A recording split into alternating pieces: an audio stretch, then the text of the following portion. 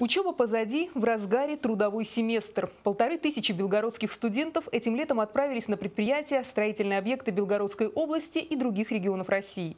Чтобы веселой компании товарищей набраться ума, опыта, практики, принести пользу другим, да и просто подзаработать. Этот сезон уже 15 для современной истории стройотрядов Белгородчины. Чем он запомнится студентам, узнала съемочная группа «Мира Белогорья». На Белгородском хладокомбинате горячая пора. Работа кипит и днем, и ночью. За сутки с конвейера сходит до 90 тонн мороженого. В жаркие летние дни сладкое лакомство горожане подчастую разбирают с прилавков. В летний сезон объемы выпуска продукции вырастают в разы. За один час только фруктовых стаканчиков на производственной линии выпускают 10,5 тысяч штук. И все их нужно упаковать, чтобы холодный десерт доехал до потребителя в целости и сохранности. Мороженое собирают с конвейера и раскладывают по коробкам. Все нужно делать быстро и аккуратно. В этом нехитром деле сотрудникам предприятия помогают временно занятые студенты. Среди них студотрядовец Роберт Штрейх. Это лишний опыт. Во-первых, что-то новое узнаешь, познаешь.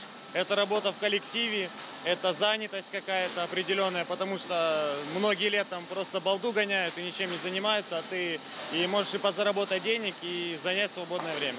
Вместе с Робертом в отряде с говорящим названием «Эскимо» трудится 25 человек. Это студенты технолога и Белгородского госуниверситета. Ребята еще до выпуска из вуза получают навык работы в коллективе, первый трудовой опыт.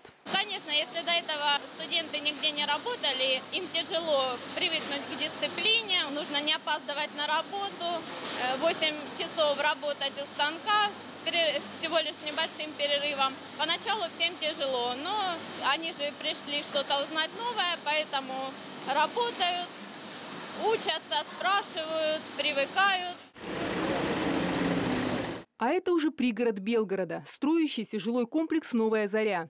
Здесь трудится отряд шуховцев, будущих инженеров, строителей, архитекторов.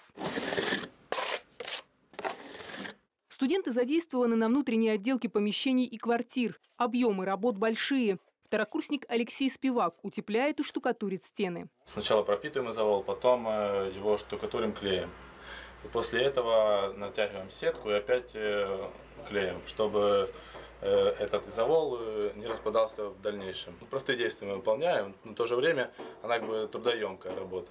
Рулон вот так раскатываешь, замеряешь. Вот эти краешки, вот меточка стоит, здесь рукой протягивай вот так. Вот так. Берешь ножичек и отрезаешь ровненько.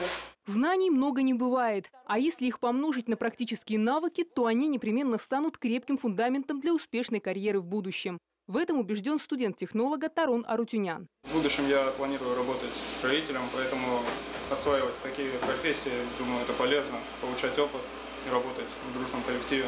Причем каждый день ребята узнают что-то новое. У нас работы много, у нас каждый день работа меняется.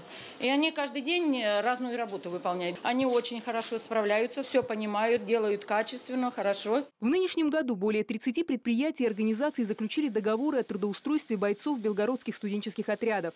Причем ребята работают не только в нашем регионе, но и за его пределами. Выиграли право на участие в строительстве космодрома Восточного, наш студенческий отряд «Технолог». Также э, выиграли конкурс и едем строить Ленинградскую атомную электростанцию.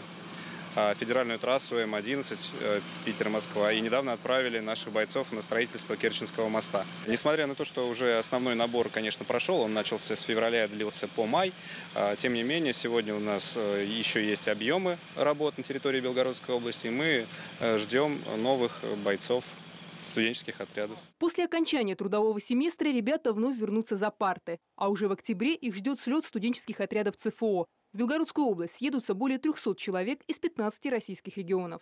Елена Труфанова, Виталий Петренко. Новости мира Белогорья.